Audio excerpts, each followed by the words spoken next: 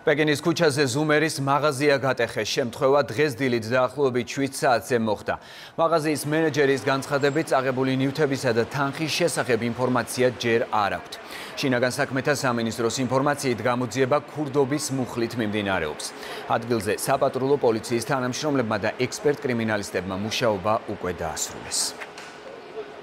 რა არის წაღებული როგორ ჯერჯერობით არაფერი არ ვიცით სამწუხაროდ. როდის მოხდა შემთხვევა? დღეს დილით. რომელ საათზე? საათი არ ვიცით ზუსტად, დეტალები არ ჩვენ არ ვიცით. მაღაზია დაკეტილი იყო კი ბატონო, რა თქმა უნდა. დილით მოხდა. არავინ არ იმყოფებოდა ხო? არა, დაცვის პოლიცია მოვიდა. წაღებული არის?